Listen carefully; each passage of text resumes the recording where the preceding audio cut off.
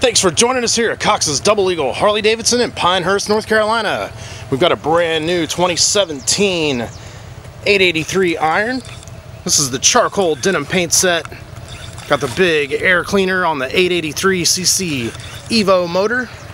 Lightning hole accents on the belt guard. Dual blacked out exhaust.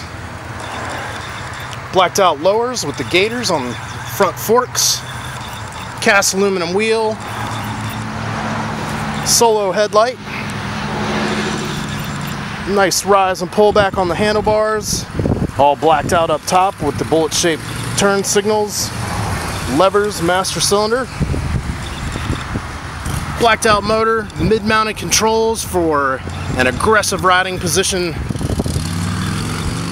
Bullet shaped turn signals on the rear with the side mount license plate holder. And you've got the adjustable shocks there's a tool that stows away underneath the seat so you can adjust the load on the fly. Beautiful bike. Come on down, take one for a demo ride today right here at Cox's Double Eagle Harley Davidson.